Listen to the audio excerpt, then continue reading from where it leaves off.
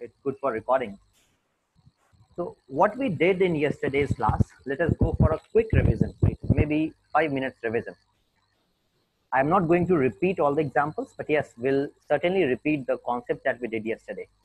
So first thing was when we talk of an, that is the arithmetic progression में जो nth term होता है, जो general expression होता है, उसको हम लोग कैसे represent करते हैं? a plus n minus 1 into d. Where you know that a is the first term. This is what? This is your first term. Okay? This is your first term. d is the common difference आपको पता है किसी भी दो conjunctive terms के बीच का जो difference होता है, वो हमेशा कांस्टेंट होता है एपी में एपी की बेसिक डेफिनेशन ये होती है कि अगर कभी भी दो कंजेक्टिव टर्म्स के बीच का डिफरेंस अगर कांस्टेंट है only then it is an arithmetic progression that is the definition और एन क्या है इसमें n is the nth term ठीक है जिस टर्म की बात हो रही है वो यहाँ पे एन है nth term okay that is the meaning n can be five that means we are talking about the fifth term if n is seven it is the seventh term and so on that is an then we also studied about sn कि अगर मुझे first n terms का sum चाहिए first n terms first term क्या है a second term क्या है बच्चों a plus d and third term would be a plus 2d and so on it continues till where till the nth term and what is the nth term a plus n minus 1 into d that is your nth term मैंने बताया था आपको कि ये nth term को हम लोग last term भी कहते हैं right? जो भी हमारा nth टर्म है this is also called the last term written as l और इसके लिए हमने दो फॉर्मूले सीखे थे राइट वॉज़ वट वर दो फॉर्मूले हमने ये दोनों फॉर्मूले कल डिराइव किए थे। N by two twice of a plus n minus one into d that was one of them and second was n by two a plus l right these were the two formulae that we did okay one of you is speaking something right अगर कुछ नहीं समझ में आ रहा है तो तुम uh, बोल सकते हो कोई प्रॉब्लम नहीं है आई कैन लिसन वैभव, कुछ कहना चाह रहे हो बेटा? Is it fine right so let's move ahead तो हमने इतनी बातें कल की थी राइट right? और इसके आगे हमें आज प्रोसीड करना है, ठीक है? तो आइए, पहले हम लोगों ने जो कल करा था, उसमें एक दो क्वेश्चन शायद रह गए थे, पहले उनको सॉल्व करेंगे। ध्यान रखना बेटा मैथमेटिक्स में आप जितना ज़्यादा ध्यान क्वेश्चन सॉल्विंग पे करोगे, आपकी अंडरस्टैंडिंग और आपकी अप्रोच दूसरों की अपेक्षा काफ़ी अच्छी हो जाएगी, ठीक है? तो कॉन्सेप्ट को हमें सीखना है बहुत ध्यान से। हम लोगों ने फॉर्मूला डिराइव भी करा है। आगे भी जो भी फॉर्मूला आएगा, हम उसको डिराइव करते रहेंगे। बट साथ साथ हमें क्वेश्चन को प्रैक्टिस करना है। हमें एप्लीकेशन सीखनी है कि उन फॉर्मुलेज पे क्वेश्चन कैसे आते हैं और उनको डील कैसे करना है। तो this is one of the question right school exam के लिए काफ़ी सिंपल और काफ़ी इंपॉर्टेंट क्वेश्चन टाइप है ये। In an AP show that a m plus n and a m minus n is a m twice of a m सबसे पहले तो तुम्हें इस क्वेश्चन का मतलब समझ में आना चाहिए। आई होप आप में से मैक्सिमम लोगों को समझ में आता होगा। बट फिर भी मैं इसको एक्सप्लेन करना चाहूँगा। Right a m plus n क्या होता है बेटा? A m plus n is what this is the term कौन सा term m plus nth term similarly a m minus n कौन सा टर्म होगा? M minus N H term ठीक है? एम और एन कोई भी नेचुरल नंबर हो सकते हैं। They can be any natural number या दी टर्म्स राइट और हम लोगों ने क्या पढ़ा है? हम लोगों ने in general we know that t n जिसको हम लोग क्या बोलते हैं? We call it a n t n को हम लोग जनरली क्या बोलते हैं बच्चों? We call it a n ठीक है? तो अगर मैं ए एन की बात यहाँ पे करता हूँ तो ए एन क्या होता है बेटा? It is a plus n minus one into d जो भी एन है, उसमें से माइनस वन करके डी से मल्टीप्लाई करते हैं। D is the common difference तो if I use this general formula and if I write what is a m plus n जो मेरे को लेफ़्ट हैंड साइड पे दे रखा है। What will I write about a m plus n let say first term is a right and the common difference is d यहाँ पे n की जगह पे क्या आएगा? M प्लस एन आएगा। मैंने m plus n minus one into d लिखा। I hope you are okay with that right if there is any problem please raise hand किसी भी स्टेप में तुम्हें कोई भी परेशानी आती है, तुम अपना हाथ ऊपर करके पूछो, ठीक है? Yes raise hand that will be enough then second term में इस तरीके से लिख रहा हूँ। एक ऐसा एपी है where the common difference is d and the first term is a तो ए एम माइनस एन कितना हो जाएगा? That will be m minus n minus one into d and then what is the L H S मैं यहाँ पे L H S देखता हूँ। तो एल एच एस कितना है मेरे पास? एल एच एस इज़ अब देखो ये सब स्कूल एग्ज़ाम क्वेश्चन हैं, मुश्किल नहीं होते हैं। लेकिन हाँ इसमें तुम अपने आंसर को किस तरीके से रिप्रेजेंट कर रहे हो that certainly is very very important ठीक है? अगर आपकी रिप्रेजेंटेशन सही है तो फिर कोई प्रॉब्लम ही नहीं है। और अगर रिप्रेजेंटेशन में कोई प्रॉब्लम है तो फिर आपको पता है टीचर मार्क्स डिडक्ट करने में इलेवेंथ लेवल पे कोई प्रॉब्लम कोई कसर नहीं छोड़ते right if you leave any scope of marks deduction will certainly deduct your marks ठीक है? So let's try and make sure that we are good with both the things, the concept as well as representation. दोनों चीज़ें हमारी अच्छी होनी चाहिए। आइए देखते हैं कितना आ रहा है। ये तो मेरे पास ट्वाइस ऑफ़ ए हो गया। A plus a twice of a ये प्लस एन है और ये माइनस एन है। तो ये डी इंटू एन और d into n plus minus वाला, ये वाली चीज़ कैंसिल हो जाएगी। ठीक है? और ये अगर तुम देखो तो एम बी दो बार है और माइनस वन भी दो बार है। तो मैं अगर इसमें ट्वाइस ऑफ़ डी को कॉमन ले लूँ तो माइनस वन ठीक है? I get m minus some of you your mic is on Vaibhav तुम्हारा माइक ऑन है बेटा। ठीक है? तो अगर तुम्हें कुछ बोलना रहता है ना तो तुम माइक ऑन करके बेशक बोल सकते हो। But otherwise, try and keep it on the silent mode so that others are not disturbed, okay? Please. Right. ये माइक तुम्हारा बड़ा म्यूट अनम्यूट कैसे हो जा रहा है? Keep it mute okay fine so this is where you have reached अब यहाँ पे तुम क्या कर सकते हो? यहाँ पे तुम टू कॉमन ले सकते हो। जैसे ही तुम टू कॉमन लोगे ये क्या हो जाएगा? A plus m minus one into d and don't you think ये ए एम माइनस वन ये कौन सा टर्म है? This is the mth term यानी अगर तुम इसको देखना चाहो तो ये वाला टर्म क्या बन गया? ट्वाइस ऑफ़ ए एम और यही तुम्हें प्रूव करना था। ठीक है? I hope you I hope all of you can understand it uh, we can proceed to the next. Okay. If that is okay, just type okay in the comment box. Just type okay in the comment box so that I understand that you have understood the question. If that is fine, just type OK in the comment box. If you want me to repeat, you can type R. If you want me to repeat, you can type R. Okay, that is fine. That's fine. That's fine. चलो, I'll proceed ahead. वैभव तुम्हारा mic bar on क्यों हो जा रहा है?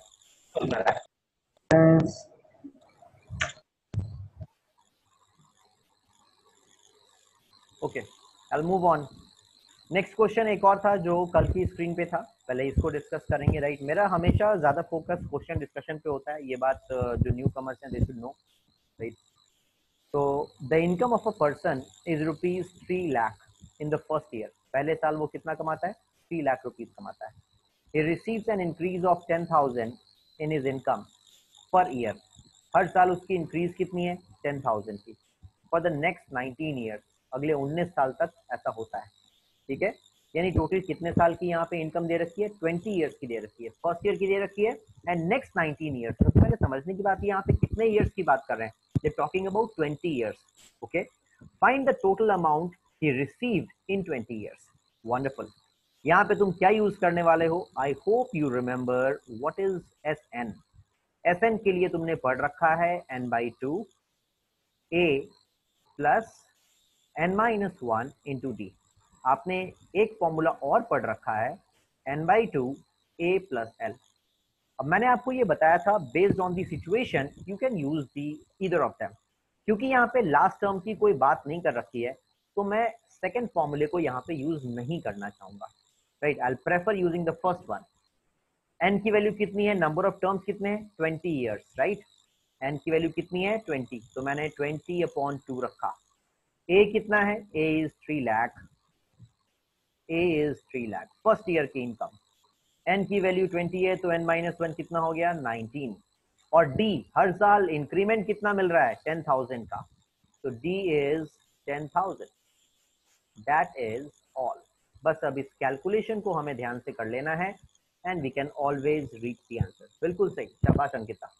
अंकिता ने calculate करके answer भी बता दिया। बड़ी अच्छी बात है वेरी गुड तो ये तो टेन हो गया, कोई प्रॉब्लम नहीं है। ये कितना है? दिस इज़ थ्री लैख और जब इसको तुम सॉल्व करोगे तो नाइनटीन के आगे चार ज़ीरो अगर आप 19 के आगे चार ज़ीरो को चेक करें तो ये कितना हो जाएगा? 19 के आगे चार zero is nothing but one lakh ninety thousand ठीक है it is coming out to be how much it is coming out to be one lakh ninety thousand तो one lakh ninety thousand plus दस ये कितना हो गया तुम्हारे पास? ये हो गया फोर लैख नाइन्टी थाउज़ेंड ठीक है और फोर लैख नाइन्टी थाउज़ेंड को अगर आप टेन से मल्टीप्लाई करेंगे तो सर्टेनली आपकी इनकम कितनी आ गई? फोर्टी नाइन लाख रुपीज़ ठीक है टोटल इनकम कितनी हो गई? How much did he receive total in twenty years तो बीस साल में उसने कितने रुपए रिसीव किए? Forty nine lakh rupees receive किए ठीक है? If there is any problem please ask me Ankita I think तुमने शायद थोड़ी सी कैलकुलेशन मिस्टेक कर दी है बेटा। चेक कर लो एक बार। अगर परेशानी आ रही है तो ठीक है अदरवाइज़ आप पूछ लीजिए। आई I मीन mean, अगर तुम्हें पता लग गया कहाँ मिस्टेक है तो it is very good otherwise आप एक बार पूछ लीजिए क्या प्रॉब्लम है। If that is okay, please raise your hand, children, faster. Sir, it would be 2a plus n minus 1 into d. Absolutely 2a. Acha, I missed the 2a. Right, I'm sorry for that. That would be 2a. Right, तो अगर 2a हो जाएगा तो ये 6 हो जाएगा फिर तो बिल्कुल सही है भाई। ये तुम्हारे पास 6 लाख हो गया और ये 1 लाख 90,000 हो गया। तो दैट विल बी 7 लाख 90,000 बिल्कुल सही है भाई। दैट इज़ एब्सोल्युटली फाइन ठीक है? तो 7 लाख 90,000 बल्कि 79 lakh right that is going to be the final answer 79 with 5 zeros ठीक है बच्चों? राइट एब्सोल्युटली करेक्ट ये 2a ही होना चाहिए था। That was that was my typing error writing error please आप उसको ठीक कर लें। आइए, आगे बढ़ेंगे। Will move ahead and now we have some questions from the exercise आज की क्लास में मेरा मेन फोकस ये होने वाला है कि थोड़े क्वेश्चंस 19.1 से, थोड़े क्वेश्चन 19.2 से इनको डिस्कस करने के बाद, अगर तुम्हारा इसमें कोई भी डाउट है तो एज यूजल मैं आपके डाउट को प्रायोरिटी दूँगा। मैं पहले हमेशा आपके डाउट को प्रायोरिटी देता हूँ राइट और उसके बाद फिर एक कॉन्सेप्ट हम आज की क्लास में भी सीखना चाहेंगे right that is the concept of selection of terms in an AP right तो आज की क्लास का मैं, हम जब भी किसी क्लास को पढ़ाने के लिए आता हूँ तो हमेशा मेरा एक फोकस होता है कि हाँ इतने, इतना काम हमें क्लास के एंड तक करना है, ठीक है? तो आज की क्लास में हमारा यही फोकस है राइट तो आइए देखते हैं हमारे पास अभी क्या चीज़ें हैं और कैसे करना है। सबसे पहले 19.1 के कुछ क्वेश्चन पिक करते हैं। अगर आपके पास कोई चॉइस है तो आप बता सकते हो। हालाँकि ऐसे क्वेश्चन तुमने कल भी किए हैं, ठीक है? जैसे सपोज़ करो ये मैं सेकंड क्वेश्चन डिस्कस करता हूँ, ठीक है? इसमें क्या कह रहे हैं? A sequence is defined by a sequence is defined by this thing right इन्होंने एक एक्सप्रेशन दे रखा है ए एन का। तो मैं अगर इस ए एन को लिख लूँ तो ये कितना है? This is n cube minus 6n square plus 11n minus 6 and they have also given that n belongs to natural numbers. अब ये जो साइड है, इसको कहते हैं बिलोंग्स टू बिलोंग्स टू मतलब एन की वैल्यू हमेशा नेचुरल नंबर ही होगी। ठीक है? ये वाली बात आपको यहाँ से समझ में आनी चाहिए। Show that the first three terms of the sequence are zero हमें इसमें प्रूव करना है कि इसके जो फ़र्स्ट थ्री टर्म्स हैं, वो सब ज़ीरो हैं। यानी कि ए वन ए टू और ए थ्री ये सब हमें क्या प्रूव करना है? ज़ीरो ये हमें शो करना है। ठीक है?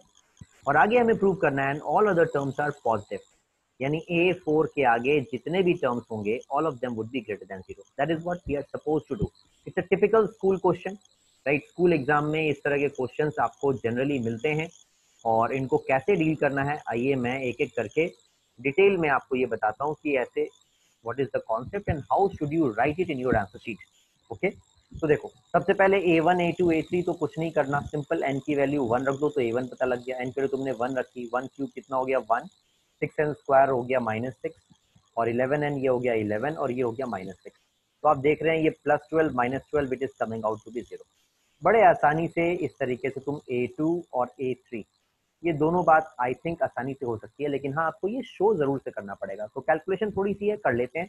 टू रखा मैंने, कितना आ गया? टू का cube is eight six into n square that mean six four जा कितना रखोगे? ट्वेंटी फोर और ये इलेवन टू जा कितना रखोगे? That is twenty two minus six अब कितना आ गया तुम्हारे पास?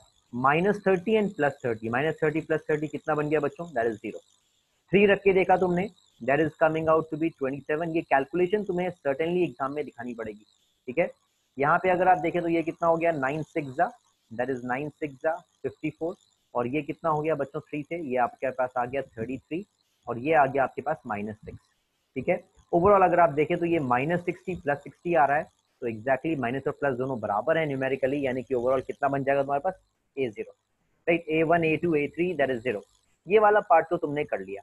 अब तुम्हें ये प्रूव करना है कि ए फोर ऑनवर्ड्स राइट बल्कि आप इसको इसको ऐसे देखें that a n is always greater than zero if n is greater than equal to four right that is what you need to prove तो आओ इसको भी देखते हैं। इसका सेकंड पार्ट थोड़ा सा इंटरेस्टिंग लग रहा है मुझे। फ़र्स्ट पार्ट तो बहुत सिंपल था। आई एम श्योर आप सब में से किसी को भी परेशानी नहीं होगी। सेकंड पार्ट भी मुश्किल नहीं होगा बट हाँ थोड़ा इंटरेस्टिंग है। अच्छा लग रहा है। और देखते हैं क्या है। How can we prove that this is always greater than zero when n is greater than और equal to four so let's see let us analyse what is the value of a n इस तरह के questions में मेरा ये मानना है, आपको हमेशा चीज़ों को फैक्टराइज कर लेना चाहिए। जब कभी भी इस तरह के जनरल एक्सप्रेशन पे आपके पास कोई भी चीज़ आती है you should try and you should factorise things ठीक है? और इसको फैक्टराइज करने की कोशिश करते हैं। जैसे एन क्यूब है और n is equal to one के लिए भी ये सेटिस्फाई हो रहा है right n is equal to one के लिए भी हो रहा है टू के लिए भी हो रहा है थ्री के लिए भी हो रहा है। ओके तो ये मतलब है कि n minus one n minus two और n माइनस थ्री ये सब फैक्टराइजेशन तुमने बचपन में ज़रूर से पढ़ी है मेरे ख्याल से नाइन्थ या टेंथ क्लास में कभी भी अगर यहाँ पे चीज़ें सेटिस्फाई हो रही हैं, इसका ये मतलब है कि n if n is equal to one is satisfying अगर ये ज़ीरो आ रहा है तो क्या मतलब है कि n minus one will be a factor of this expression ठीक है? तो मैं यहाँ पे एन माइनस वन के फॉर्म में इसको एक्सप्रेस करने की कोशिश करूँगा। ध्यान से देखो कैसे करूँगा। एन माइनस वन को मैं तीन बार लिखूँगा। कितनी बार लिखूँगा? तीन बार लिखूँगा। अब मुझे एन क्यूब मैं इस इस सेगमेंट को रिप्रोड्यूस करना चाहता हूँ। इस जो एक्सप्रेशन है, मैं इसको एग्जैक्टली exactly रिप्रोड्यूस करना चाहता हूँ। तो मुझे एन क्यूब के लिए मुझे क्या चाहिए? एन स्क्वायर चाहिए। तो क्या मिल गया मुझे? N cube minus n square but minus n square से तो काम नहीं चलेगा मुझे क्या चाहिए? मुझे माइनस सिक्स एन स्क्वायर चाहिए। मतलब मुझे फाइव एन स्क्वायर और चाहिए। तो मैं अगले को किससे मल्टीप्लाई करूँगा? माइनस फाइव एन से मल्टीप्लाई करूँगा। ठीक है? ये कितना आ गया? माइनस फाइव एन स्क्वायर और माइनस एन स्क्वायर। कितना बन गया? माइनस सिक्स एन स्क्वायर बन गया। ठीक है? साथ में कितना आ गया बच्चों? साथ में तुम्हारे पास आ गया प्लस फाइव एन। और और कितना चाहिए तुम्हें? तुम्हें सिक्स एन और चाहिए बिकॉज़ प्लस इलेवन एन चाहिए। तो अब इसको किससे मल्टीप्लाई करोगे? प्लस सिक्स से। तो बहुत आसानी के साथ तुम इस बात को देख पा रहे हो कि ये कितना हो गया? N minus one into n square minus five n अगर इस फैक्टराइजेशन में, जो कि बहुत बेसिक बात है, अगर किसी को परेशानी आ रही है तो आप पूछ सकते हैं। ठीक है? ये सब नाइन टेंथ की चीज़ें हैं, और अगर किसी को भी थोड़ी सी भी परेशानी है तो इसको ध्यान से लिखें, एक बार प्रैक्टिस करें। फिर भी अगर परेशानी आती है, बिना किसी हेजिटेशन के व्हाट्सएप ग्रुप पे पूछो, मैं तुम्हें अलग से भी बता सकता हूँ, कोई प्रॉब्लम नहीं है। Like you know that similarly अब ये तो क्वाड्रेटिक है, इसको फैक्टराइज करने में I don't think we'll have much problem we can easily factorise it ये कितना हो जाएगा? माइनस टू माइनस थ्री में जाएगा। तो ये वाली चीज़ मेरे पास आ जाएगी n minus two into n minus three right तो ए एन की value we can express it in this form if a n is equal to this now they have set की n is equal to four के लिए this is this is always positive so we can easily see that whenever I put n is equal to greater than four then this would be positive, this would be positive, and this would be positive.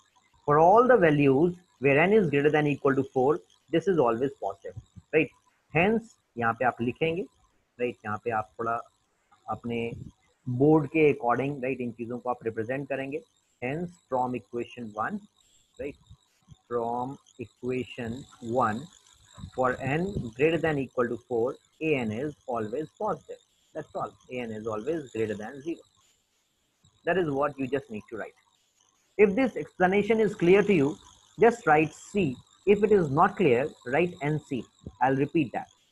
If it is clear, write c in the chat box. If it is not clear, write nc so that i can proceed ahead. कैसे represent करना है? Question was not difficult but yes how do you represent it in your answer sheet that certainly is very very important ठीक है? तो please make sure कि आप इन चीज़ों को सही से रिप्रेजेंट करना सीख रहे हैं। वंडरफुल दैट्स गुड चलो देखो। आगे बढ़ते लेट्स प्रोसीड अहेड एंड आगे देखते हैं। अर्पित तुम कल नहीं थे ना? Arpit was absent yesterday Arpit is absent today as well okay Anushka is everything fine with Arpit? Sir, I don't know. I will ask him today. Right right I I think कल भी शायद वो class में नहीं था जहाँ तक मुझे ध्यान आ रहा है। हाँ सर वो कल भी नहीं था। हाँ सर वो कल नहीं था। हाँ ऐसे ही इज़ वेरी रेगुलर कभी छुट्टी नहीं करता वो। काफ़ी पंक्चुअल और रेगुलर है। चलो कोई बात नहीं कोई प्रॉब्लम होगी तभी नहीं आ पा रहा। एक बार पूछ के बताना। Just let me know okay I proceed ahead आइए कुछ और क्वेश्चंस देखते हैं। लेट्स सी कुछ डिफरेंट uh, क्वेश्चन देखना चाहूँगा। ये सारे क्वेश्चन आप कभी भी कर सकते हैं। Write the first five terms in each of the following sequences कुछ नहीं करना। ए वन की जगह पे वन दे रखा है। ए एन की जगह पे इन्होंने ये एक्सप्रेशन दे रखा है। तो क्या इसमें टर्म्स नहीं निकाल लोगे? राइट जैसे अगर ये ए टू आपसे बोलेंगे तो ए टू एन की जगह पे तुमने टू रखा तो ये कितना हो गया? It is like a one plus two right तो ए वन की वैल्यू तुम्हें वन मालूम है तो वन प्लस टू कितना हो गया? वन प्लस टू थ्री हो गया। सिमिलरली अगर ए थ्री बोल रहे हैं तो ए थ्री में यहाँ पे एन माइनस वन कितना हो जाएगा? That will be a two a two plus two a two कितना है बेटा? इट इज़ थ्री तो three plus two what is that that is five इस तरीके से you will be able to solve these question right इसमें कुछ नया नहीं है ओके okay? हाँ लास्ट क्वेश्चन में डिफ़िकल्ट नहीं था, लेकिन हाँ कुछ नया था, इसलिए मैंने उसको डिस्कस किया।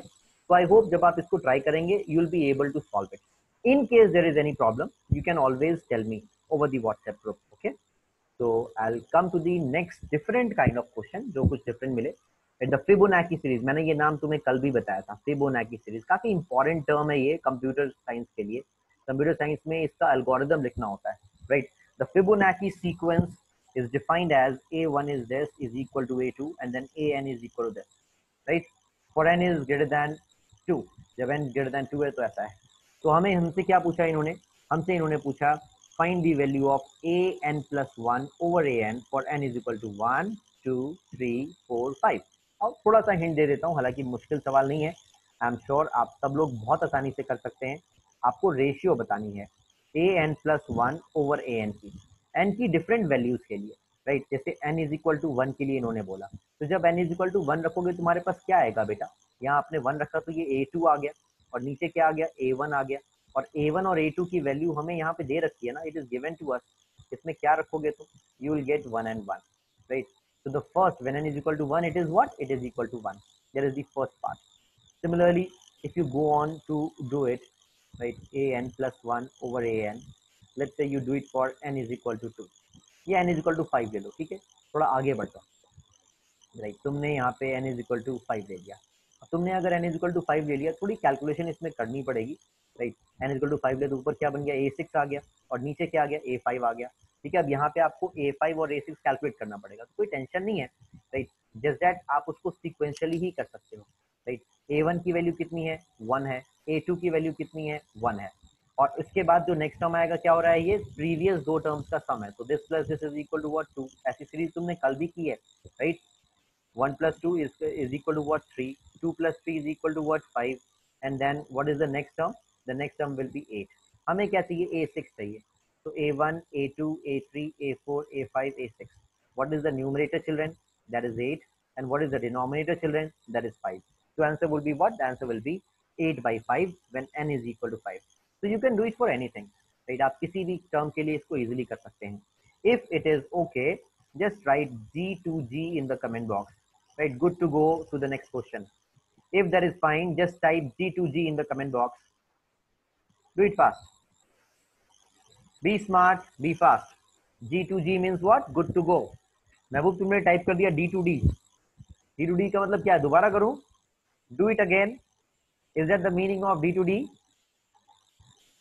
by mistake हो गया होगा राइट डी और G they are very close उसके बीच में बस एक टर्म है F okay that's okay I could understand that's a typing error हो जाता है. All right right. चलिए, आइए देखते हैं. थोड़ा थोड़ा मैं डिस्कशन इसलिए कर रहा हूँ ताकि तुम अगर कोई भी क्वेश्चन अपने लेवल पे करना शुरू करोगे तो कोई तुम्हें टेंशन नहीं होनी चाहिए. ठीक है? इसलिए मैं जनरली हर टाइप के क्वेश्चन क्लास में ही डिस्कस करना चाहता हूँ. उसके बाद भी डाउट पूछते हैं, मैं बताता हूँ. लेकिन हाँ मेरी कोशिश यही होती है कि डाउट्स तुम्हें कम से कम मिले जब तुम खुद से प्रैक्टिस करना शुरू करो। Show that each of the following sequences now again this is an typical school exam question that is है कंपटीशन में इतने आसान सवाल नहीं आते हैं। अभी ऑलमोस्ट uh, पाँच छह क्लास के बाद जो तुम क्वेश्चंस करोगे वो कंपटीशन लेवल के होंगे। बट अभी स्टार्टिंग के एटलीस्ट दो क्लास और वो भी तुम समझो स्कूल के लिए इंपॉर्टेंट है ठीक है? आज सेकेंड क्लास है। दो क्लास और जो होंगे, वो भी स्कूल लेवल पे ही होंगे। जहाँ पे अपने फाउंडेशन देखो कंपटीशन में कुछ नया नहीं होता है। बेसिक्स वही होते हैं। जस्ट दैट उस पर जो एप्लीकेशन होती है, वो बढ़िया हो जाती है। ठीक है? तो पहले बेसिक्स अगर तुम्हारे स्ट्रॉन्ग रहेंगे तो तुम उसको आसानी से कर लोगे राइट हम लोगों ने पिछले कितने टॉपिक्स कर रखे हैं इस तरीके से। ठीक है? तो बेसिक्स पे स्टार्टिंग के तीन चार दिन मैं वर्क करना चाहता हूँ, और आपको पता है उसका बेनिफिट लास्ट में कितना मिलता है। ठीक है? तो आइए देखते हैं। Let's see what do we have in this question इसका भी एक दो पार्ट में करके बताऊँगा, बाकी मैं आपसे एक्सपेक्ट करूँगा कि आप उसको ट्राई करें। Show that each of the following sequences is an AP आपको ये प्रूव करना है that this is an AP also find the common difference and write three more term कोई टेंशन ही नहीं है राइट right? बहुत ईजी है।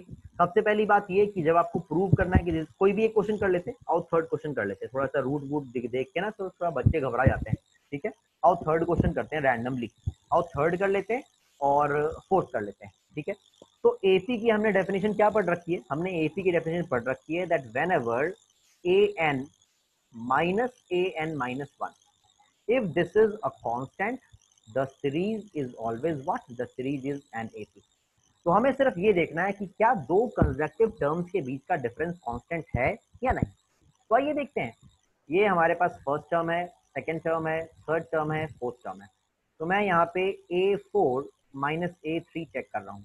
A four minus a three a four मेरे पास सेवन रूट टू है और ए थ्री मेरे पास फाइव रूट टू है। अगर मैं इसका डिफरेंस देख रहा हूँ तो ये मुझे टू रूट टू दिख रहा है। ठीक है? मैं इसको अब इक्वेट करूँगा a three minus a two से। और ये चीज़ आगे a two minus a one के बराबर भी होनी चाहिए।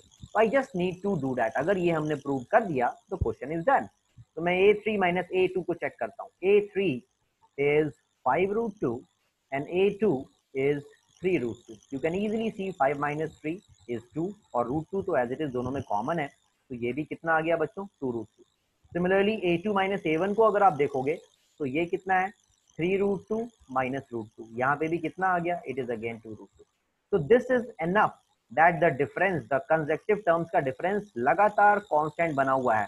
Right that means the common difference is constant and hence we can say that yes this is an ap the same thing can be replicated in all the questions okay if i can solve the fourth one for you as well आइए इसको भी देख लेते हैं fourth question भी देखते हैं यहाँ पे डिफरेंस कितना हो जाएगा भाई देखो मैं डायरेक्टली कर रहा हूँ थोड़ा सा थ्री माइनस फाइव उसके बाद क्या है फाइव माइनस सेवन और उसके बाद क्या है seven minus nine what is the difference it is minus two what is the difference it is minus two तो कॉमन डिफरेंस नेगेटिव पॉजिटिव दोनों हो सकते हैं। ये बात हमने कल भी सीखी थी राइट जस्ट दैट वो सेम होना चाहिए। ऐसा नहीं कि एक जगह पे प्लस टू एक जगह पे minus two it should be same अगर प्लस टू है तो प्लस टू माइनस टू है तो माइनस टू कोई फ़र्क नहीं पड़ता, ठीक है? तो that is what you should understand अभी आपने तुमने, अभी तुमने इसका एक पार्ट किया है, क्या? To prove that this is an AP और एक पार्ट करते करते तुमने साथ में इसका सेकेंड पार्ट भी साथ साथ ही कर लिया, क्या? To find the common difference तो इसका कॉमन डिफरेंस कितना हो गया? इसका कॉमन डिफरेंस हो गया टू रूट टू और इसका कॉमन डिफरेंस कितना हो गया? ये माइनस टू हो गया. ठीक है? अब इसमें इन्होंने बोला तीन टर्म्स और बता दो तो कोई प्रॉब्लम ही नहीं है ना? अगर तुम्हें तीन टर्म्स बताने सपोज़ करो इसमें बताना क्या करना है? माइनस टू करते जाओ. तुमने माइनस टू किया तो कितना आ गया? वन आ गया. फिर माइनस टू किया तो कितना आ गया? माइनस वन आ गया. फिर माइनस टू किया तो कितना आ गया? माइनस थ्री आ गया. इस तरीके से इसमें माइनस टू करते चले गए. इसमें क्या करेंगे? Plus two root two plus two root two किया तो कितना आ गया? नाइन रूट टू आ गया. राइट फिर से टू रूट टू किया तो कितना आ गया? इलेवन रूट टू आ गया और फिर कितना आ गया? थर्टीन रूट टू आ गया। तो इस तरीके से आप इस क्वेश्चन को कंप्लीटली कर सकते हैं। Right I hope it is okay you can simply raise your hand to tell me that yes you are understanding all this simply raise your hand so that I can proceed ahead okay I am touching even the most basic thing that you may face okay all right एक question और मैं यहाँ से करूँगा। थोड़ा सा ये different है it is different then what we have done till now question number eight right इसमें क्या कह रहे हैं? The nth term of a sequence is given by this you have to show that this is not an.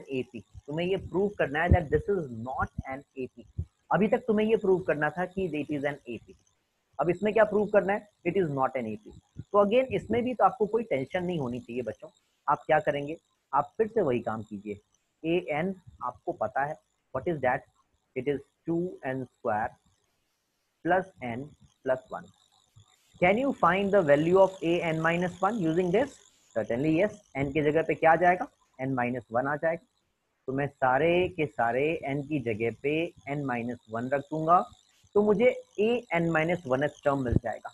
आइए इसको थोड़ा simplify करते हैं because this is already simplified we just need to simplify the second one so let us open the square. That will be a square plus b square minus 2ab that is what you will be getting. ठीक है? N minus 1 plus 1 आप अगर इसको देखना चाहें तो ये कितना हो जाएगा? थोड़ा सिंप्लीफाई कर लो और twice of n square minus four n ठीक है? Two into two n minus four n plus n कितना हो गया बच्चों? That is minus three n constant term को अगर तुम अब देखना शुरू करो तो कॉन्स्टेंट टर्म कितना है? Plus two plus one three और थ्री में से तुम्हारा वन गया तो कितना हो गया? प्लस टू ठीक है? तो ओवरऑल ये चीज़ तुम्हारे पास निकल के आ रही है a n minus one term आपको मालूम है कि एपी की जो बेसिक डेफिनेशन होती है, वो क्या होती है? That whenever a n minus a n minus one अगर ये हमने कॉन्स्टेंट प्रूव कर दिया तो ये एपी है अदरवाइज़ नहीं है वेरी सिंपल तो आइए मैं यहाँ पे वैल्यूज़ रखता हूँ, जो हमारे पास इक्वेशन वन और टू से आ रही है। जब तुम स्कूल एग्ज़ाम में कर रहे होगे तो ये चीज़ें ऐसे ही लिखना जैसे मैं तुम्हें बता रहा हूँ, ठीक है? फ्रॉम वन एंड टू ठीक है? Use these things these are basic very basic things I am sure आप में से कई सारे लोग इन सब में कंफर्टेबल होंगे बट फिर भी मैं बेसिक चीज़ों को मिस नहीं करता हूँ जनरली ठीक है? इसमें से तुमने n minus one s term को सब्सट्रैक्ट किया, ये तुम्हारे पास टू एन स्क्वायर आ गया माइनस थ्री एन आ गया और प्लस टू आ गया। ये टू एन स्क्वायर तो क्लियरली जाता हुआ दिख रहा है मुझे। एन और माइनस का minus three n is plus three n कितना हो जाएगा overall that will be four n ठीक है? और कांस्टेंट ये हो गया वन और वन में से टू गया। वन में से टू गया तो कितना आ गया? माइनस वन अब यहाँ से ध्यान से देखो, ये जो डिफरेंस है it is dependent on n n की वैल्यू अगर बड़ी है तो ये बड़ा हो जाएगा एन की वैल्यू छोटी है तो छोटा हो जाएगा। It is not a constant this is not a constant that is why right hence or you can say therefore it is not an AP it is not an AP I hope you understand how should you write it in the answer sheet when you get these questions okay just raise your hand if that is fine sir हाँ बोलो बेटा sir ये जो equation है two n square plus plus n minus plus one हाँ हाँ sir अगर इसमें हम लोग ए की वैल्यू वन रख दें ए की वैल्यू और टू रख दें और ए की वैल्यू थ्री रख दें फिर उसका। कॉमन डिफरेंस निकाले तो वैसे कर सकते हैं? हाँ वैसे कर सकते हो कोई प्रॉब्लम नहीं है लेकिन ध्यान रखना मैं तुम्हें एक बात बताता हूँ बहुत ध्यान से सुनना ये जो मैं तुमने सवाल पूछा है काफ़ी अच्छा सवाल है और इस सवाल का जवाब तुम सब लोग बहुत ध्यान से सुनना। मैं पहले इनके सवाल को एक बार दोहराता हूँ और फिर इसका जवाब दोहराऊँगा। बहुत इंपॉर्टेंट है from school exam point of view ठीक है? किसी भी बोर्ड में आप पढ़ रहे हैं ये बात बहुत बहुत इंपॉर्टेंट है। कभी भी तुमसे जब कभी भी कोई भी प्रॉपर्टी प्रूव करने को कहते हैं, कोई भी प्रॉपर्टी, चाहे वो किसी भी चैप्टर की है, फ़ंक्शंस की है राइट सेट्स की है एपीजीपी की है, कहीं भी कोई भी प्रॉपर्टी तुम्हें प्रूव करने को कही गई है, आप उसको दो तरीके से प्रूव कर सकते हैं। एक, आप उसको वेरिएबल पे प्रूव कर सकते हैं और दूसरा, आप उसको नंबर्स का एग्ज़ाम्पल लेके प्रूव कर सकते हैं। जैसा कि अभी हर्ष कह रहा था कि, सर, अगर हम नंबर लेके कर दें तो तो दोनों ही सही है, कोई प्रॉब्लम नहीं है। लेकिन ध्यान रखना स्कूल एग्ज़ाम में अगर तुमने नंबर लेके किया है तो ऑलमोस्ट तुम्हारे 25 परसेंट मार्क्स डिडक्ट हो जाएँगे। और अगर तुमने वेरिएबल पे किया है तो तुम्हें 100 परसेंट मार्क्स मिलेंगे। राइट क्योंकि नंबर्स पे जो तुमने प्रूव किया, उससे ये प्रूव होता है कि उन नंबर्स पे वो सही है। बट जब तुमने वेरिएबल्स पे प्रूव किया है तो it shows that yes it is true for all the possible variables in the domain ठीक है? एक बार मैं फिर से रिपीट करता हूँ, अगर कोई प्रॉपर्टी तुम्हें प्रूव करनी है और अगर तुम एग्जाम्पल्स लेके प्रूव कर रहे हो तो तुम्हें मार्क्स नहीं, पूरे मार्क्स नहीं मिलेंगे। Twenty five percent marks ten percent marks कुछ न कुछ टीचर सर्टेनली काटेंगे राइट एज पर the board marking scheme whether you talk of I S C और C B S E right it is very much in the board marking scheme that your marks have to be deducted when you are using examples to prove a property when you prove it on variables you get all the marks keep it in your mind ठीक है? हाँ इसका ठीक vice वर्षा अगर तुम्हें कभी भी किसी प्रॉपर्टी को डिसप्रूव करना है, ऐसे क्वेश्चन भी जिन लोगों ने फ़ंक्शन मेरे साथ करा है राइट आपको मैंने वहाँ पे भी ये बात बताई थी, अभी फिर से बता रहा हूँ, जिन लोगों ने नहीं किया है, घबराने की ज़रूरत नहीं है मैं रिवीजन क्लासेस अगस्त टेंथ से स्टार्ट कर रहा हूँ, ठीक है? तो आप इस बात को समझे, कभी भी डिसप्रूव करना है तो डिसप्रूव करने के लिए तुम एग्जाम्पल्स लोगे, कोई प्रॉब्लम नहीं you will get all the marks I repeat prove करने के लिए वेरिएबल्स पे प्रूव करो you should get all the marks right no marks will be deducted example लोगे तो teacher can deduct the marks 99 percent teacher marks deduct करेंगे। अगर उन्होंने बोर्ड के एग्जामिनर रहने का एक्सपीरियंस है तो एज पर the instruction of the board it has to be done on variables numbers पे करने पे मार्क्स डिडक्ट होते ही होते हैं।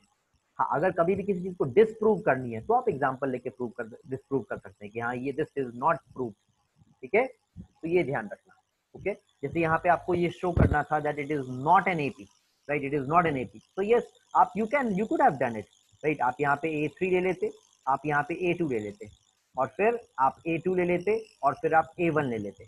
ये दोनों चीज़ें इक्वल नहीं आती तो आप प्रूव कर देते हैं it is not an AP that is okay disprove करने के लिए चलेगा। यहाँ तुम्हें डिसप्रूव करना है तो चलेगा नंबर यहाँ टीचर तुम्हारा मार्क्स नहीं काट सकता। बट अगर तुम्हें ये प्रूव करना है दिस एन एपी तो इट इज़ ऑलवेज एडवाइजेबल कि आप वहाँ पे नंबर्स की जगह वेरिएबल्स को प्रेफर करें। I hope you could understand this basic things okay this is very very important for your school exam yes sir चलो आगे बढ़ते हैं। Right that was your first exercise जिसमें से मेजरली सारे क्वेश्चन हमने कर लिए हैं। कुछ थोड़े बहुत एग्जांपल्स बचे हैं उनको आप ज़रूर से देखिएगा। अगर कुछ डाउट आए तो आप उसको ग्रुप पे शेयर कीजिएगा मैं कल की क्लास में डिस्कस करूँगा। I move on with the next exercise right इसके क्वेश्चंस भी तुमने कल मेरे साथ किए थे। मैंने कल की क्लास में इसके क्वेश्चंस भी डिस्कस किए थे तुम्हारे साथ। राइट और इसमें देखते हैं थोड़ा आगे बढ़ते हैं। लेट अस सी जैसे सपोज़ करो ये सेकेंड क्वेश्चन होता। Right eighteen term in this अगर आपको इसमें एटीन टर्म आइडेंटिफाई करना है। तो जब इस तरह के क्वेश्चन आते हैं तो बहुत घबराने की ज़रूरत तो बिल्कुल है ही नहीं बिकॉज़ ये कुछ भी नहीं है राइट तुम किसी भी एपी में, अगर तुम्हें ए पता है एन पता है, और कॉमन डिफरेंस पता है you can find anything about the AP क्या चीज़ें चाहिए? A the first term d the common difference and the number of term number of term generally directly दिया होता है ए भी ऑलमोस्ट दिख रहा होता है डी सिर्फ़ तुम्हें देखना पड़ता है। तो बहुत टेंशन तो है नहीं डी देखने में। दो टर्म्स के बीच का डिफरेंस देख लो डी पता लग गया। अब क्योंकि ये एपी ऑलरेडी कह रखा है तो हमें डी प्रूव करने की ज़रूरत नहीं है। मैं सिर्फ़ दो टर्म्स के बीच का डिफरेंस देख लूँगा, मुझे डी मिल जाएगा। Right what is the value of d in this case it is three root two minus root two so very easily I get to know that the value of d is what? It is 2 root 2 ठीक है? और basic formula तो हम लोगों को पता ही है। What is the value of a n a n is a n minus one into d हमें कौन सा टर्म पूछा गया बच्चों? हमें 18 टर्म पूछा गया। यानी एन की वैल्यू कितनी है? 18 है। और ए कितना है? ए आपके पास रूट टू है। ए हमेशा फ़र्स्ट टर्म होता है। तो एन माइनस वन कितना हो गया? 17 हो गया। राइट और डी कितना निकाल लिया तुमने? It is two root two तो आप जैसे ही इसको मल्टीप्लाई करेंगे you will get the answer कितना हो गया? 34 रूट टू और प्लस रूट टू यानी फाइनल आंसर कितना आ जाएगा? 35 root two So these are very easy questions and I don't think you'll have any difficulty in dealing with them. Okay, you just did this question. अभी अभी तुमने ये वाला question भी कभी टच किया है ठीक है? ये सारे क्वेश्चंस आपको करने में कोई परेशानी नहीं आएगी लेकिन फिर भी मैं एक दो एग्जांपल सब जगह से करता चलता हूँ। जैसे सपोज़ करो ये थर्ड क्वेश्चन थर्ड का थर्ड पार्ट में तुम्हारे साथ डिस्कस करूँ। Which term of the AP is 254 AP क्या दे रखा है? 4 9 एंड 14 राइट 4 9 एंड 14 एक ऐसा एपी चल रहा है और इसमें हमारे से पूछा गया कि ये जो 254 है ना, ये कौन सा टर्म है? यानी तुम्हें इसमें ए एन में एन की वैल्यू बतानी है। तो कोई टेंशन नहीं है, तुम्हें तो पता ही है राइट right? इसमें डी कितना हो गया? Nine minus four that is five n की वैल्यू बतानी है, वही बेसिक फॉर्मूला आप यूज़ करोगे। A n minus one into d n मुझे दे रखा है, कितना है ये? 254 ए कितना है बेटा? ए इज़ फोर एन की वैल्यू चाहिए एन माइनस वन मैंने एज इट इज़ रखा। क्या डी मुझे मालूम है? हाँ मालूम है। What is d d is five can I solve it certainly yes मैं इस फोर को इधर लेके जाऊँगा। दैट इज़ टू फिफ्टी इधर क्या रह गया तुम्हारे पास? N minus one into five क्या इस फाइव को इधर लेके आ सकते हैं? बिल्कुल ला सकते हैं। तो कितना हो गया? N minus one is equal to fifty so what is the value of n children? N is equal to 50 plus 1 which is 51 i hope you understand these easy things if yes just type yes in the comment box quickly quickly type a yes in the comment box right जल्दी से yes type करो फटाफट सबसे पहले किसने type किया महबूब आलम ने type किया इस बार अच्छा वेरी गुड महबूब ने टाइप किया हर्ष ने टाइप किया हर्ष ने टाइप किया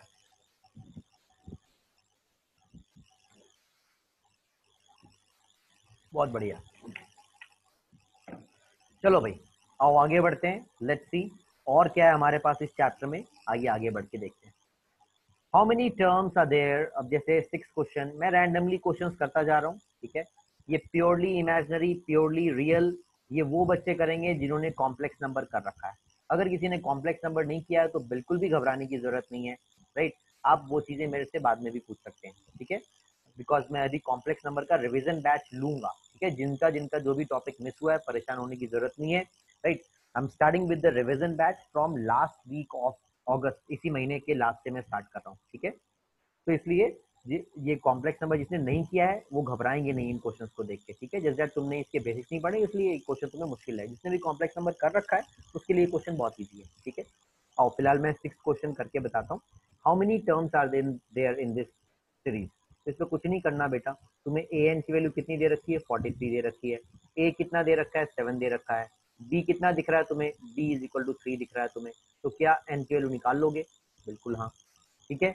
ये जो फ्रैक्शन वाला है, इसमें क्या हो रहा है? ए कितना है? Minus one right a is what it is minus one d कैसे निकालोगे? डी हमेशा, जब भी तुम्हें डी निकालना है, मेरा ये सजेशन है, हमेशा a two minus a one कर दो।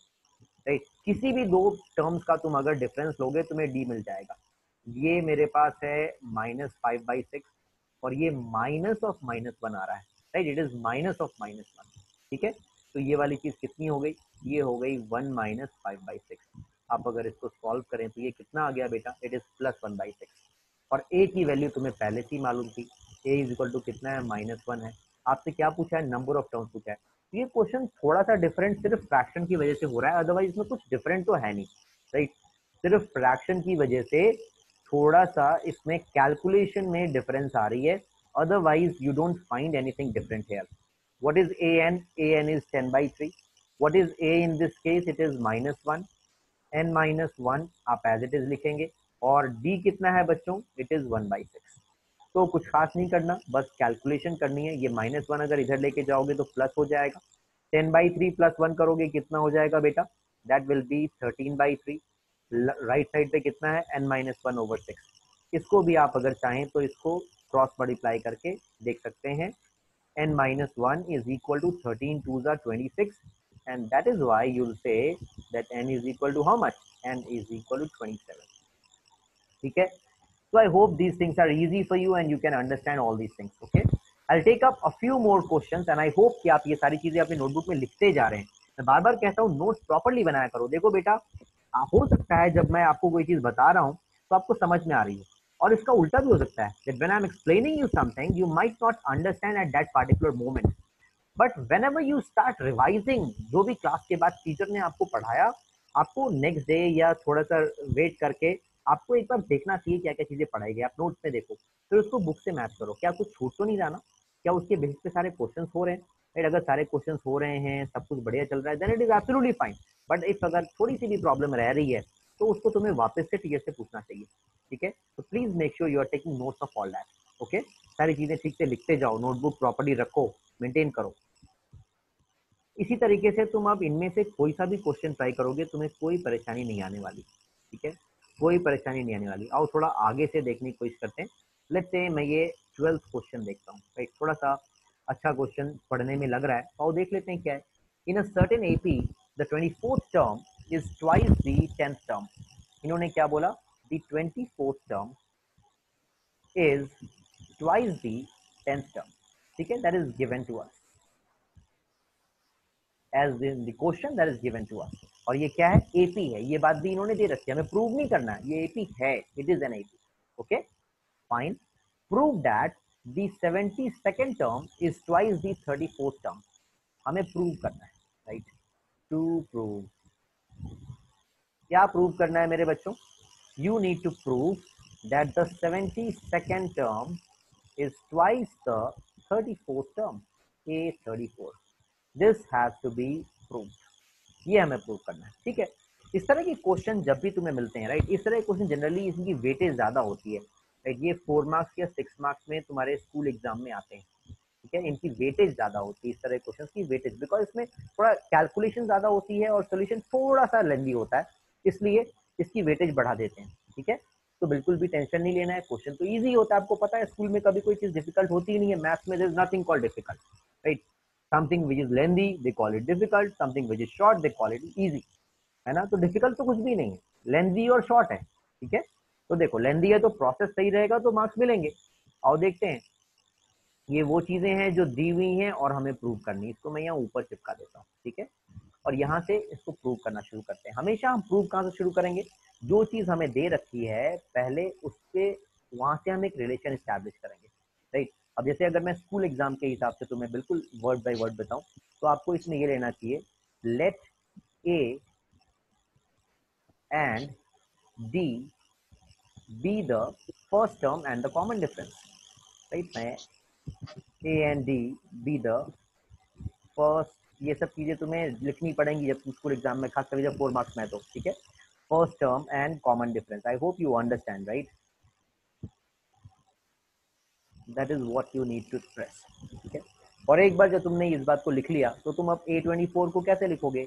ए ट्वेंटी फोर को तुम लिखोगे a plus n minus one into d that is a twenty four right that is twice of okay twice of a ten a ten कितना होगा? ए plus nine D ठीक है? मेरी राइटिंग थोड़ी सी ए और नाइन में तुमको कंफ्यूजन लग रहा होगा तो मेरी वॉइस पे आप ध्यान दें राइट right? मैंने लिखा a plus nine d okay and now what i am going to do i am going to establish a relation between a and d left hand side you have what you have a plus 23d right hand side what do you get you get twice of a plus 18 times d i hope you are okay with that right यहाँ से आप एक important conclusion पे आते हो if you take a on the one side 2a minus a that is a and 23 minus 18 that is 5d यहाँ से आपके पास conclusion क्या आया That a is equal to 5d this is what you have concluded, okay? Right? ये आपका conclusion है, जो given थी इंफॉर्मेशन वहाँ तुमने कंक्लूड किया क्या? कि जो फ़र्स्ट टर्म है, वो five times of the common difference है. That is the conclusion okay अब मैं यहाँ से क्या करने वाला हूँ? मैं a 72 देखने वाला हूँ. A 72 मेरे पास कितना होगा? A 72 मेरे पास आएगा a 71d right that is what I write ठीक है? और इसको मैं क्या लिखूँगा बेटा? मैं इस फैक्ट को ऐसे लिखूँगा कि मैं फाइव अब या तो मैं इसको डी के फॉर्म में ए को भी सब कुछ क्यों ना डी में ही कर लें, है ना? Let is convert everything into d okay तो मैं अगर इसको डी में कन्वर्ट करूँ तो ये हो गया five d five d plus this कितना आ गया बेटा? That is coming out to be seventy sixty a seventy two मेरे पास कितना आ गया? It is coming out to be seventy sixty similarly अगर मैं यहाँ पे ए थर्टी फोर की बात करता हूँ right if I talk about a thirty four now you can name it as equation number one ठीक है? अगर आप ए थर्टी फोर की बात करते हैं तो ए थर्टी फोर कितना होता है? A plus thirty three d और ए की वैल्यू कितनी है आपके पास? जो आपने निकाली है फाइव डी ये कितना हो गया? फाइव प्लस थर्टी थ्री कितना आ गया बेटा? That is thirty eight d right from equation one and two from one and two what can I say? I can say A72 is equal to twice of A34. और last में वो लिखना जो तुम्हें लिखने में बचपन से अच्छा लगता है। क्या? Hence proved without any comma. Right? Hence proved.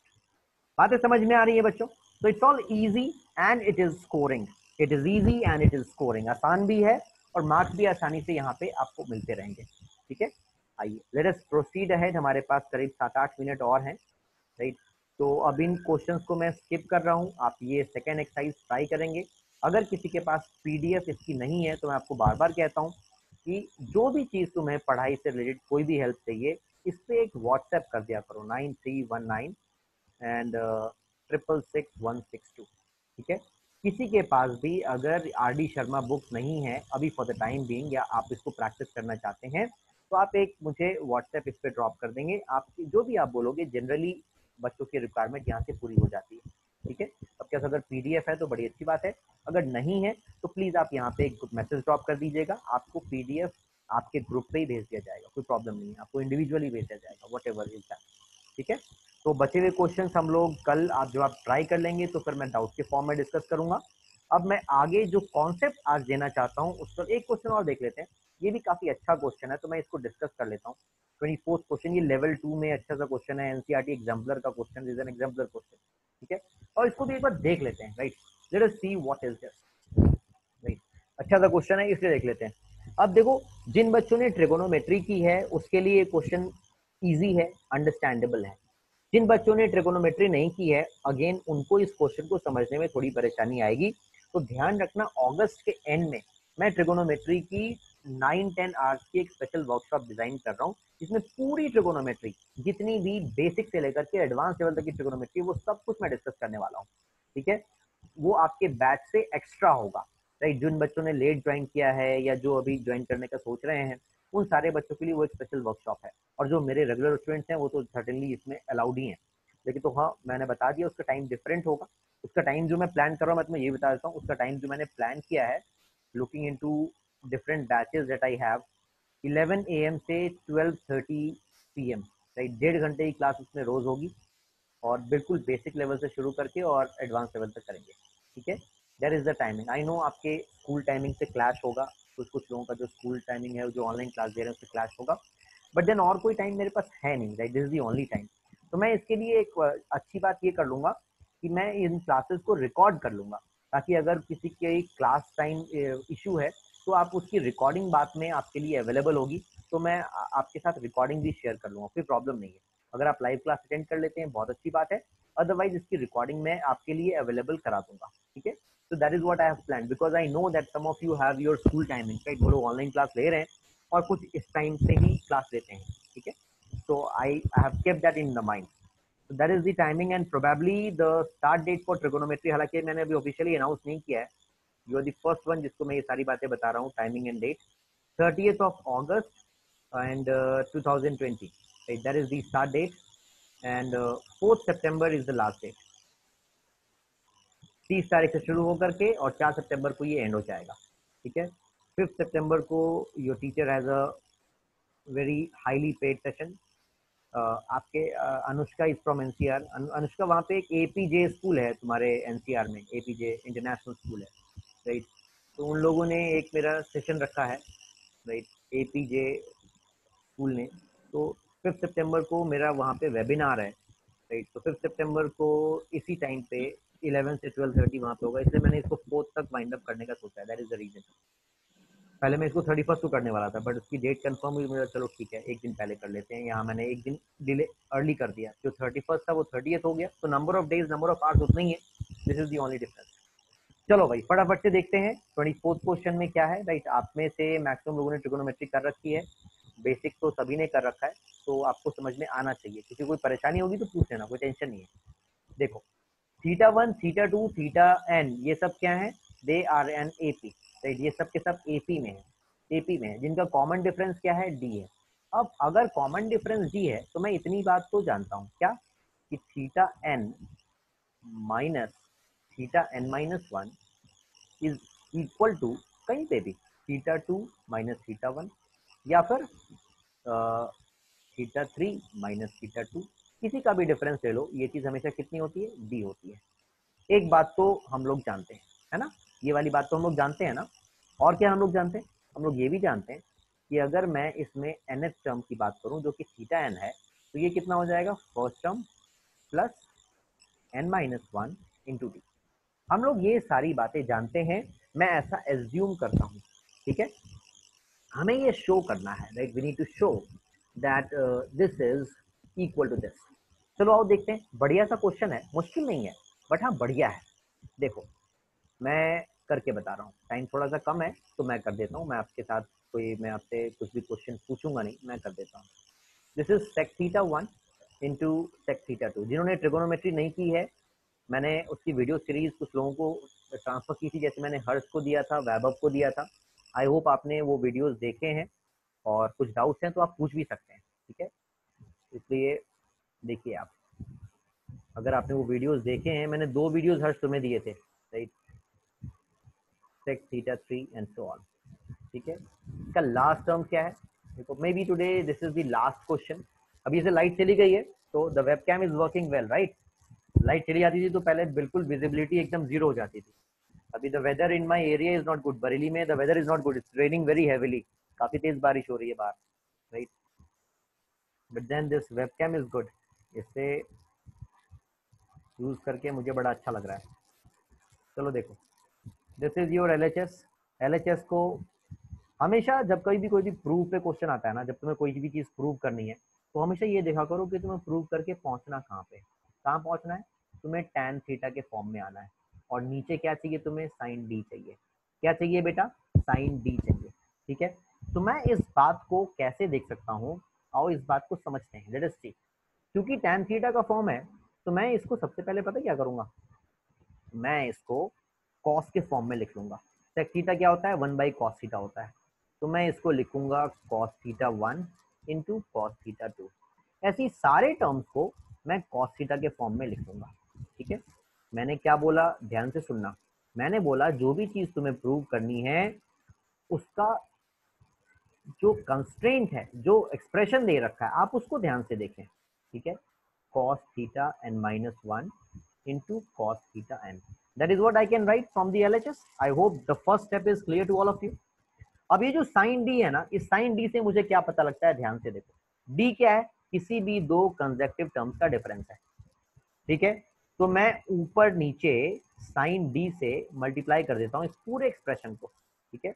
मैं न्यूमरेटर में भी साइन डी लिख देता हूँ। सारे टर्म्स को मैंने क्या किया? साइन डी से मल्टीप्लाई किया और साइन डी से डिवाइड किया। ठीक है? तो जो मैंने मल्टीप्लाई किया, वो ब्रैकेट के अंदर किया और जो डिवाइड किया, वो ब्रैकेट के बाहर किया। आप पूछ सकते हो, सर, ऐसा क्यों कर रहे हो? इसके पीछे सिंपल रीजन ये है, क्योंकि मैं राइट हैंड साइड पे देख पा रहा हूँ कि साइन डी मेरे पास नीचे राइट साइड पे है, इसलिए मैं I try to keep it safe okay ध्यान रखना, जो जितने भी मुश्किल क्वेश्चन होते हैं प्रूव करने वाले, उसमें हिंट हमेशा तुम्हें क्वेश्चन में दिया होता है। तुम्हें सिर्फ़ ध्यान से देखने की ज़रूरत है, तुम्हें हिंट समझ में आना शुरू हो जाएगा, ठीक है? अब जैसे ही तुमने इस बात को समझ लिया कि साइन डी तुम्हें ला तक चाहिए अच्छा अब ये ऊपर साइन डी का क्या करें? अब साइन डी का क्या करें? देखो, मैं यहीं पे लिखूँगा स्क्रीन स्पेस थोड़ा सा कम है आई होप आप साथ साथ लिख रहे हैं। तो मैं इस साइन डी को पता क्या लिखूँगा? मैं इसको लिखूँगा डी मेरे पास क्या है? डी है theta two minus theta one theta three minus theta two सब कुछ ये। तो यहाँ पे थीटा वन थीटा टू है। तो मैं इस साइन डी को डी को मैं क्या लिख रहा हूँ? मैं लिख रहा हूँ theta two minus theta one अगर थोड़ी भी परेशानी है तो पूछ लो भाई। ठीक है? सिमिलरली जो सेकेंड वाला साइन डी है आई एम श्योर तुम्हें आइडिया लगना शुरू हो चुका होगा कि मैं इसको क्या लिखने वाला हूँ? मैं इसे लिखने वाला हूँ theta three minus theta two and similarly that would continue जो भी थीटा मुझे नीचे दिख रहा है because d is a constant thing मैं उसको किसी भी फॉर्म में एक्सप्रेस कर सकता हूँ। इसको मैं क्या लिखूँगा? इसको मैं लिखूँगा theta n minus theta n minus one right again जिन लोगों ने ट्रिगोनोमेट्री ठीक से नहीं पढ़ी है, वो इस फॉर्मूले को ध्यान से लिख लेंगे अपने कॉपी में। क्या? कि कभी भी अगर तुम्हारे पास साइन ए माइनस बी आता है right sine A minus B आता है। तो इसका एक्सपेंशन क्या होता है बच्चों? That is sine A cos B minus cos A sine B ठीक है? तो आप इस एक्सपेंशन को, इसको आप अपने पास लिख लेंगे। मैंने अलग कलर से इसलिए लिख दिया है, क्योंकि जिन लोगों ने ट्रिगोनोमेट्री नहीं पढ़ी है, उनको ये पता होना चाहिए। जिन्होंने पढ़ रखी है, उनके लिए एक बहुत बेसिक सी बात है तो उनको अदरवाइज़ भी आई एम श्योर उनको समझ में आ रहा होगा। ठीक है? तो देखो, मैं इसी फॉर्मूले को यहाँ पे अप्लाई करने जा रहा हूँ राइट जैसे तुम यहाँ पे अप्लाई करोगे वन बाई साइन डी को तो मैंने टच नहीं करना। क्यों? बिकॉज़ ये मुझे फाइनल एक्सप्रेशन में चाहिए और डिनोमिनेटर में चाहिए तो I am not going to touch it okay यहाँ मैं ये फॉर्मूला अप्लाई करता हूँ। ये मेरे पास कितना हो गया? This is sine of A कितना है मेरे पास? Theta one sorry theta two is A right first term is A तो theta two cos of theta one minus क्या आ जाएगा? Cos of theta two into sine of theta one ये question बिल्कुल भी मुश्किल नहीं है, आसान है लेंदी है, और डेट इज़ वाई इस तरह के क्वेश्चन की वेटेज ज़्यादा होती है। स्कूल एग्ज़ाम में जब ऐसे क्वेश्चन आते हैं तो इसकी वेटेज अच्छी खासी होती है, ठीक है? सारे टर्म्स तुम किससे डिवाइड करोगे? फ़र्स्ट टर्म में क्या है तुम्हारे पास? Cos theta one cos theta two ठीक है? This is the last question right I can see that time is exceeding मैं ज़्यादा टाइम नहीं लूँगा, लेकिन हाँ इस क्वेश्चन को मैं कंप्लीटली फिनिश करना चाहूँगा ओके okay? ध्यान से देखो।